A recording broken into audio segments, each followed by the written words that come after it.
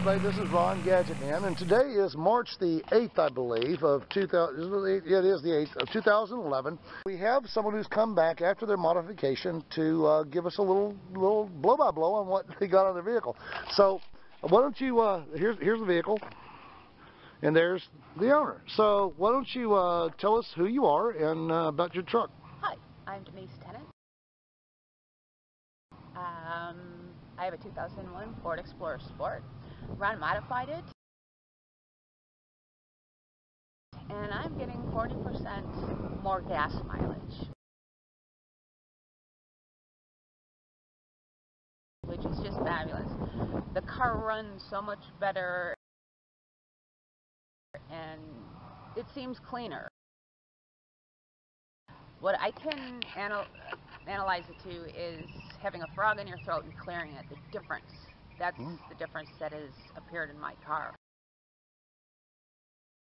So it's more powerful. Much more. How fast will it go? Um, as soon as I get on the highway, it's, it jumps to 80.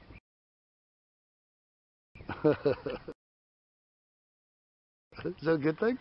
Uh, yeah, I mean, I have to watch my uh, foot, you know, my lead foot a little bit, Uh-huh. but it's a good thing. The car runs so much better. It's Uh-huh. worth so much more than the price. This is a what? 2001 Ford Explorer Sport. Uh-huh. It's 10 years old and it doesn't leak oil even. So Well, it's in really good shape too. it's a Yeah. good truck Uh-huh. and uh, I'll be keeping it for years. So what are you getting right now on your mileage? You know? Uh, on the highway, I'm getting 24.5, Wow. and in the city, I'm only getting 18. And what did you start out with before? Um, on the highway, about 18, city, about 14. That So- sounds sounds about sounds about right for this. So, uh, so what would you say to all the other Ford Explorer owners out there? You definitely got to get over here, save yourself some cash. Four dollars a gallon, folks. exactly. I can't afford it. I don't know if you can, so come on by. If you're going 300 miles on a tank, that means that you would then be getting 40% increase would be another 120 miles on that tank. So you'd be getting 420 miles. That's driving 120 miles for free. How long will it take for you to pay for a $350 modification?